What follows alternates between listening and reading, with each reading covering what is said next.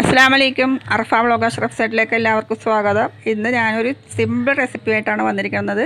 അതിന് വേണ്ടി ഒരു ഇടത്തരം വെള്ളരിക്ക തൊലി കളഞ്ഞെടുക്കണേണ്. വെള്ളരിക്ക തൊലി കളഞ്ഞ് ഇതുപോലെ ഇങ്ങനെ ചെറുതായിട്ട് ചീകി ചീകി എടുക്കണം. അതിലേക്ക് കുറച്ച് ഉപ്പും ഒരു സ്പൂൺ വിനാഗിരിയും ഇട്ടിട്ട് പത്ത് മിനിറ്റ് മാറ്റി വെക്കണം. അര കിലോ ചിക്കനാണ് എടുത്തിരിക്കണം അത് ഇതുപോലെ നേരിയതായിട്ട് അരിഞ്ഞെടുക്കണം.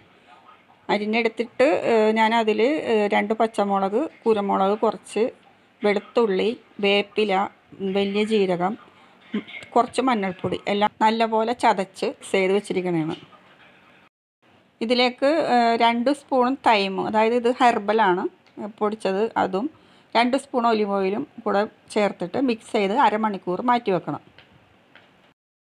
ഉപ്പും വിനാഗിരിയും ഇട്ട് വെച്ചാൽ കുക്കമ്പർ ഇതാ ഊറ്റിയെടുക്കണതാണ് വെള്ളം മാറ്റിയെടുക്കണം ഇതിൽ നിന്ന് അപ്പോൾ അരമണിക്കൂറിന് ശേഷം മസാലയൊക്കെ തേച്ച് മാറ്റി വെച്ചിരുന്ന ചിക്കൻ പാനിലിട്ടിട്ട് എണ്ണയൊന്നും ഇല്ലാതെ മൊരിച്ചെടുക്കണതാണ്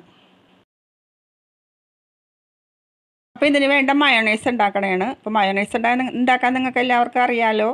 ഇനിയിപ്പോൾ പറഞ്ഞുകൂടെങ്കിൽ ഞാനൊരു മയണൈസ് ഉണ്ടാക്കണ ഒരു വീഡിയോ ഇട്ടിട്ടുണ്ട്. അത് നിങ്ങളെല്ലാവരും കാണണം. അപ്പോൾ ഈ മയണൈസിൽ ഞാൻ നാല് കുരുമുളകും കൂടെ ചേർത്തിട്ടാണ് തയ്യാറാക്കിയിരിക്കുന്നത്. അപ്പോൾ ഫില്ലിങ്ങിലേക്ക് നമ്മൾ കുറച്ച് സാധനങ്ങൾ പച്ചക്കറിയൊക്കെ ആവശ്യമുണ്ട്. അപ്പോൾ നമ്മൾ അധികം പച്ചക്കറി ഒന്നും എടുക്കണില്ല. കുറച്ച് ഇലകളാണ് വെക്കുന്നത്. അപ്പോൾ ഞാൻ ഇതിനു വേണ്ടി തയ്യാറാക്കുന്ന മാവ് ഗോതമ്പിന്റെ മാവാണ്. അതുകൊണ്ടിട്ട് പത്തിരി ഉണ്ടാക്കിയിട്ടാണ് ഞാനിത് ചെയ്യണത്. നമ്മുടെ ചപ്പാത്തിയൊക്കെ എല്ലാവർക്കും ഉണ്ടാക്കാവുന്ന അറിയുന്ന അറിയുന്നത് കൊണ്ട് അതൊന്നും കാണിച്ചില്ല ഉണ്ടാക്കണത്. എല്ലാ ഫില്ലിങ്ങും ഒക്കെ റെഡി ആയിട്ടുണ്ട്. നമുക്കിനി ഫില്ലിങ്ങിലേക്ക് കിടക്കാം.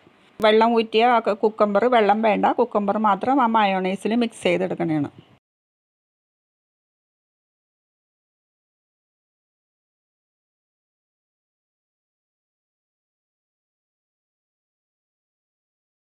മിക്സ് ചെയ്ത മയോണൈസ് ഇട്ട് ചിക്കൻ ഫ്രൈ വെച്ച് അതിലേക്ക് കുറച്ച് സവാള ഇട്ട് പാഴ്സയില ഇട്ട് സലറി ഇട്ട് മല്ലിയില ഇട്ട് അതിന്റെ മുകളിൽ വീണ്ടും കുറച്ച് മയണൈസ് ഇട്ട് ഇങ്ങനെ ചുരുട്ടിയെടുത്ത് ചുരുട്ടാതെയോ നേരക്കാക്കിയോ ചതുരത്തിലാക്കിയോ എങ്ങനെ വേണമെങ്കിലും കഴിക്കാൻ ഞങ്ങളിത് ചുരുട്ടിയെടുത്ത്.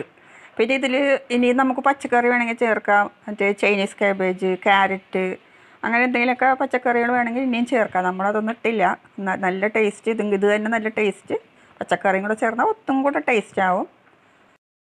അപ്പോൾ ഇതാണ് ഞാൻ പറഞ്ഞ സിമ്പിൾ റെസിപ്പി ടാക്കോസ് ഇതെല്ലാവരും ട്രൈ ചെയ്ത് നോക്കണം. നല്ല ടേസ്റ്റാണ് ഇപ്പോൾ ടേസ്റ്റ് നിങ്ങളാണ് കേട്ടോ പറയേണ്ടത്. ഞാൻ തിന്ന് നല്ല ടേസ്റ്റാണ് അതുകൊണ്ടാണ് നിങ്ങൾക്കും കൂടി ഇത് പങ്കുവെച്ചത്. അപ്പോൾ എല്ലാവരും ഇത് ട്രൈ ചെയ്ത് നോക്കണം.